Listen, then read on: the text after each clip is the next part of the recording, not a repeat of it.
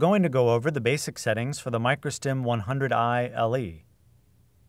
The first thing you'll notice is that there's a little door here, and if you hook your finger right here and you pull the door off, it will reveal a single switch underneath.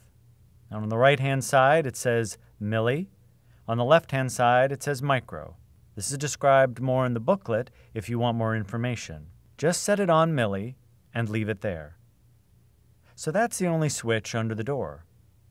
If we move up to the top of the unit, you'll see two switches.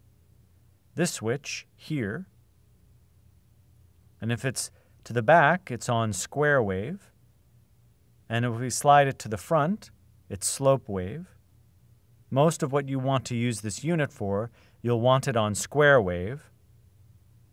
You'll also notice the belt clip on back, so that's how you know it's the back of the unit.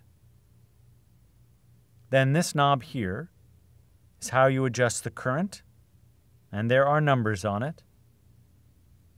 Just think if this is a volume knob, so if you turn this clockwise, you turn the unit on. And so this is what we've done. We've turned the knob clockwise. This turns the unit on. And you can see that there's a little light over on the left side of the unit. That green light tells you the condition of the battery. It simply says that the unit is on and the battery is good. That light will go from green to yellow and then to red. If it's red, it means you're close to the needing a new battery.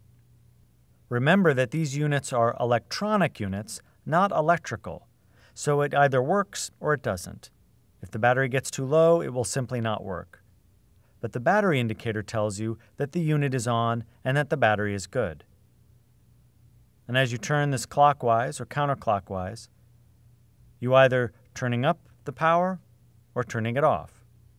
And clockwise turns it up, and counterclockwise reduces the current and then turns it off. Over here is the plug where we will plug the main wire in. There is a video on this, so please check that out.